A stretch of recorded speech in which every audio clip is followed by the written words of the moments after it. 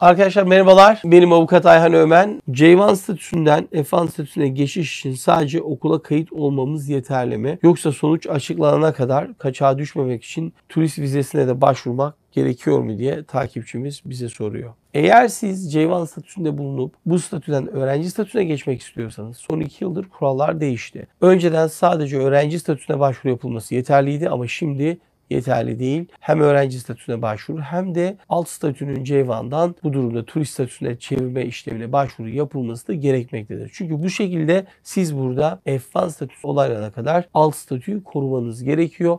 Biten C1'ınızı turist statüsüyle devam ettirmeniz gerekiyor ki burada kalabilmeniz mümkün olsun deyip takipçimizin sorusunu cevaplamış olalım. Müzik